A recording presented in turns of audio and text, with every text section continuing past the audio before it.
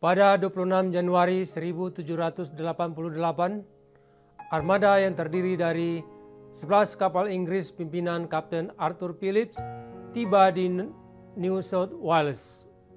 Kelak koloni itu dikenal dengan nama Australia. Saat itu adalah hari di mana Kapten Phillips mengklaim secara resmi bahwa New South Wales berada di bawah Britania Raya itu diperingati sebagai hari kebangsaan resmi atau Australia Day.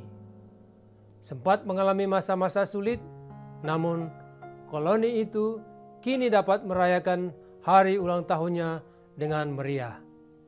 Awalnya, Australia direncanakan sebagai koloni hukuman.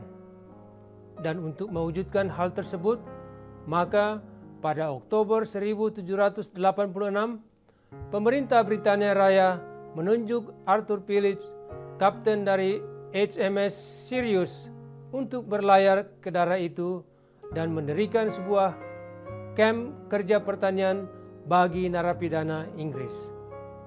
Phillips sama sekali tidak memiliki gambaran tanah seperti apa yang akan diinjaknya.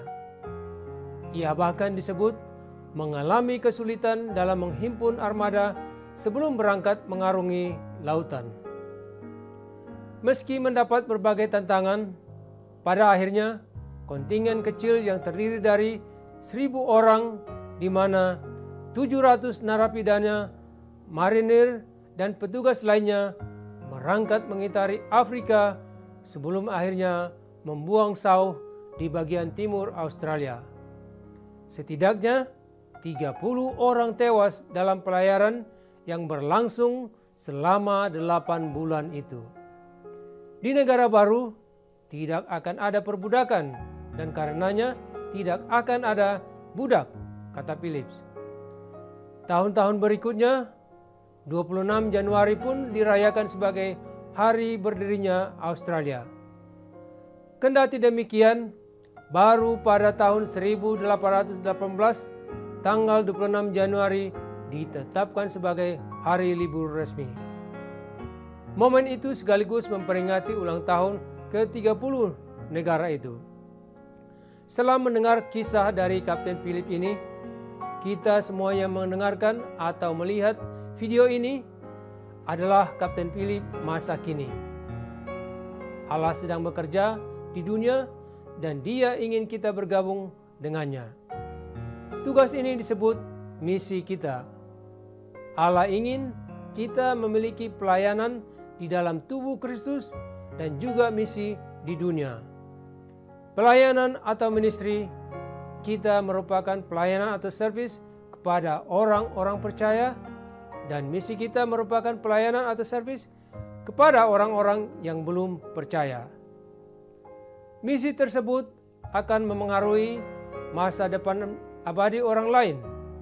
Itu lebih penting ketimbang pekerjaan, keberhasilan, atau tujuan apa pun yang akan kita raih selama kehidupan kita di bumi. Hasil dari misi kita akan berlangsung selamanya, sementara hasil dari pekerjaan kita tidaklah kekal.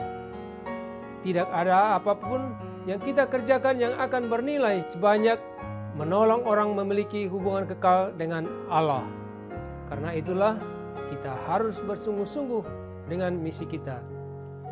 Yesus bersabda, kita harus mengerjakan pekerjaan dia yang mengutus aku. Selama masih siang, akan datang malam, di mana tidak ada seorang pun yang dapat bekerja. Yohanes 9 ayat 4. Waktu terus berdetak menuju saat dimulainya misi kehidupan kita.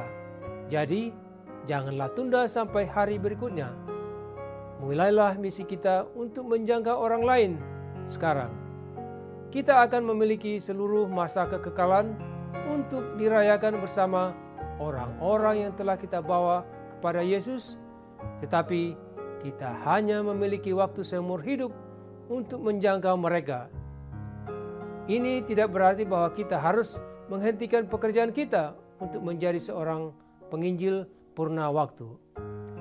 Allah ingin kita membagikan kabar baik di mana pun kita berada. Sebagai seorang pelajar, karyawan, petugas keamanan, atau manajer, atau apa pun yang kita kerjakan, sebaiknya kita terus-menerus mencari orang-orang yang Allah tempatkan di jalur kita dengan siapa kita bisa membagikan Injil. Kita masuk ke tempat baru, di mana kabar kebenaran pun belum dikabarkan. Kita membagikan akan kasih Yesus kepada mereka, dan sama seperti yang terjadi di Australia, kita harus membawa orang-orang lain dimerdekakan di dalam Yesus Kristus dan nama Tuhan dipermuliakan oleh karena pekabaran ini. Kami dari Fisdak Media Ministry, Tuhan memberkati.